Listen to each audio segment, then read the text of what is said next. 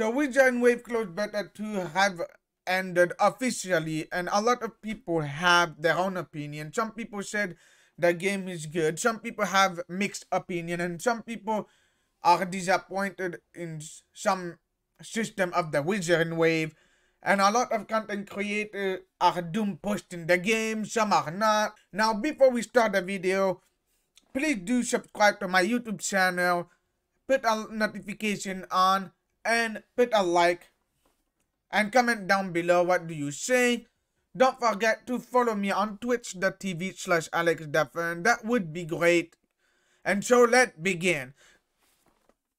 So I made a Reddit post about Wuthering Wave, uh, about their opinion about Wuthering Wave, and I said that my I did like overall. The only issue is that the game have a bad co-op where you can't really fight with friend on a bug because it blocks you, and so there's a lot of people saying their own opinion, and we are going one per one depending if they are relevant or not.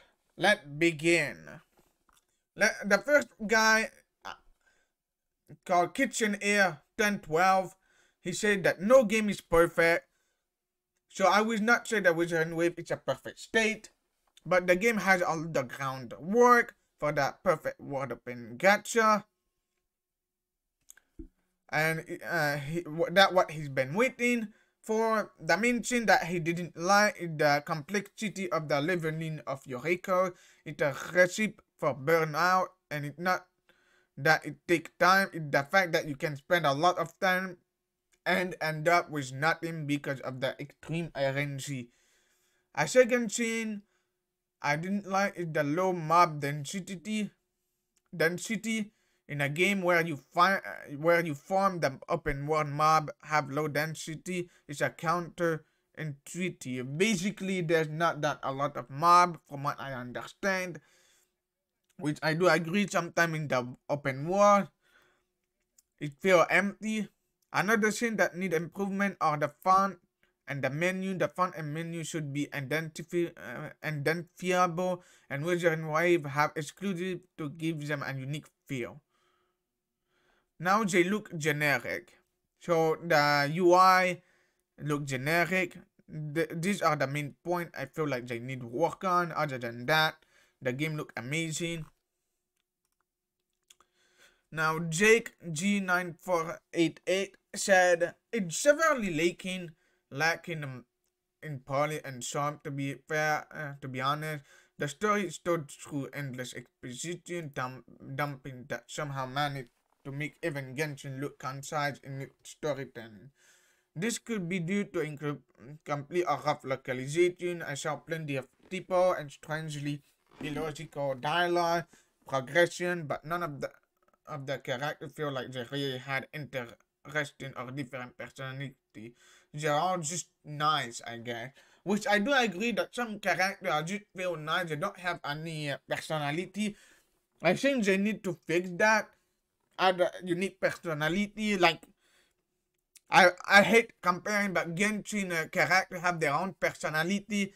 Like take uh, Yae Miko, she's um a fox girl and she have a very wow unique personality.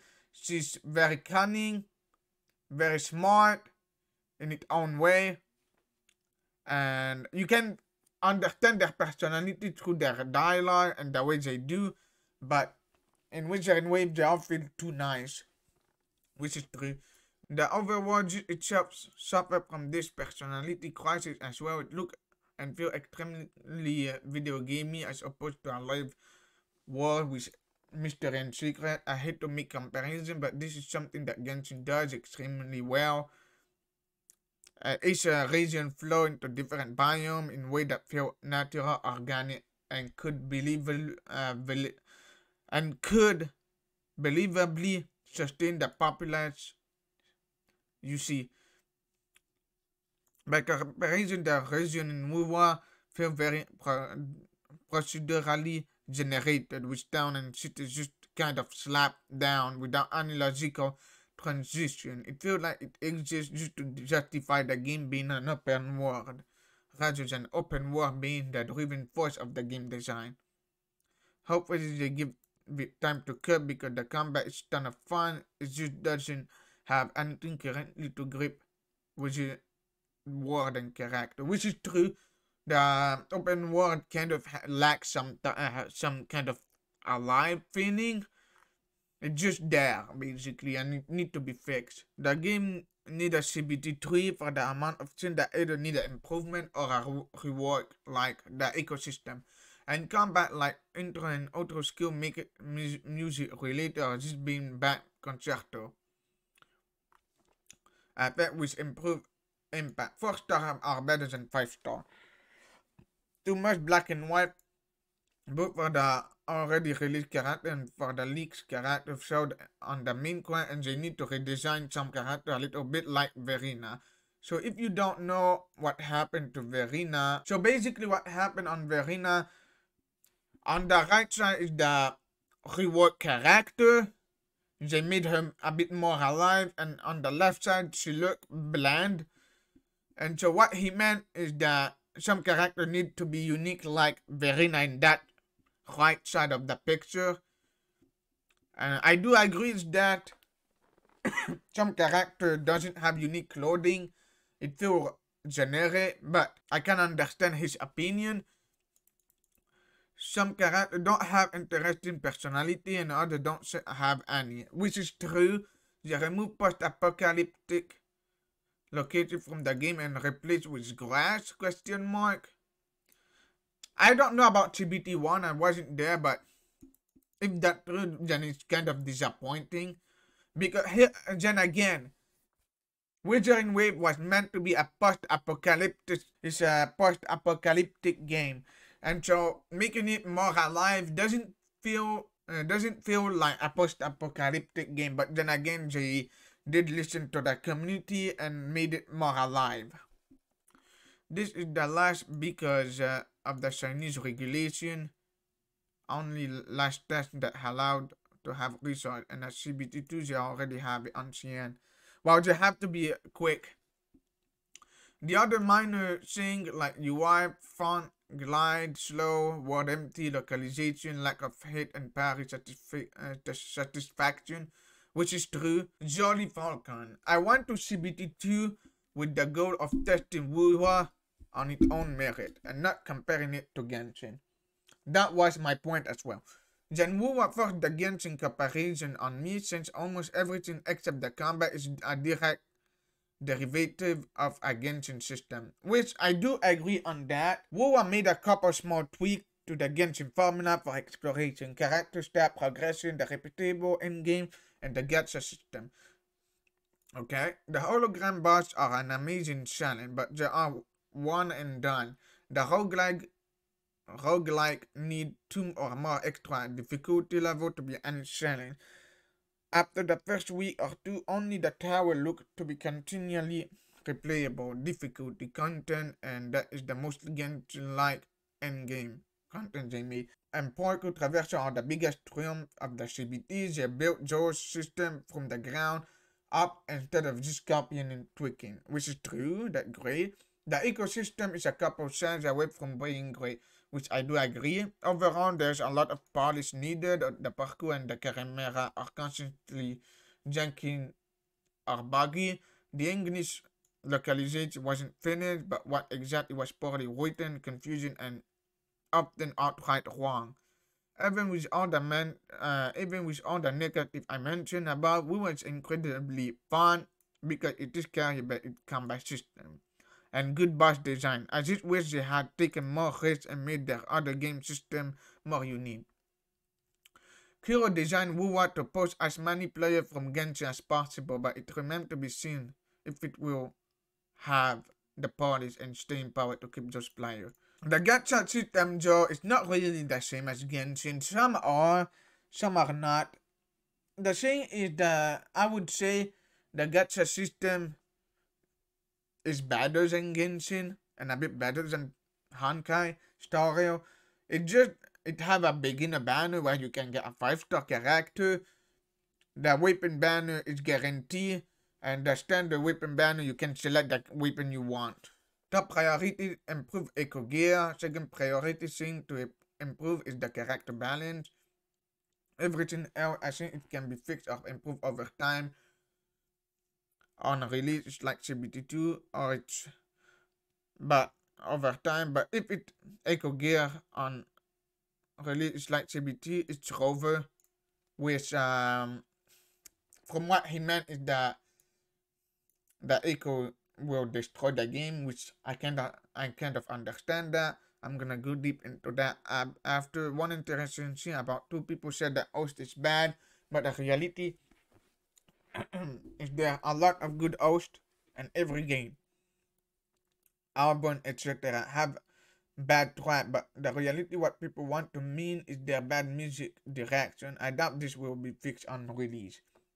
My theory of why a lot of people say the OST is bad is because the exploration is so fast and there's no time to hear to the open world OST and people get into the next fight too fast and the common battle team is kinda meh. So the problem with Echo from what I've seen is that it have a lot of substat and what I mean by that is that when you level up your echo gear it will give you substat but you have to unlock it. You have to grind for it. Basically you have to spend your energy to get those material to open and get a random substat and those substat have like 12 substat of RNG so they they have quite a lot of things. So you have a less chance of getting uh, the substat and uh, the substat of what you want and I feel like maybe they should, to make it better, they should maybe add a reroll substat or something around that. But yeah, I can agree that the echoes seem really grindy. Now this one is gonna be the last one. Or two last one. I can predict the future. The game is gonna be popular for two months. Then start dying after saying that they were gonna make improvement even though they might not come out right away. After that, the game will not be as popular as it was already, but will start gaining players that are gonna stay. After 6 months, will have stable player base, but of course, not gonna be as big as Genshin and Star, which I can understand his prediction because the game is released in literally 2 months apparently, I don't know. But overall, most of people seem to agree that the top priority that they need to fix and that they did not lie is the echo. The echo system need a lot of fix because it have way too many RNG, way too many substat. It have like 12 substat, which is a lot. That's the priority one. The priority two is to make it more alive in the open world. Sometimes it feel empty, not a lot of monster and not a lot of beautiful quality stuff in there to discover. It's just there apparently. The third one is the character. The character design look kind of generic. They don't look unique. As you can see. The after look more unique. And before, as you can see how unique it is. People want those kind of character, not like on the before. So that one of the reason as well. That are the three main things that they want. The fourth one is people are complaining about the UI. The menu, the main menu is too generic and they want it to be unique for uh, Wuthering Wave so they can recognize that, oh, this is from Wuthering Wave. That's all I have to say about what the community in Wuthering Wave Global think about Wuthering Wave. Close beta. If you did enjoy this video, please do subscribe to my YouTube channel, put a like as well, activate the notification bell on, and don't forget to follow me on twitch.tv slash alexdaphne. And one last thing, comment down below what do you think of the close beta 2. I will take my time to read it. We will see you next time. Bye bye YouTube.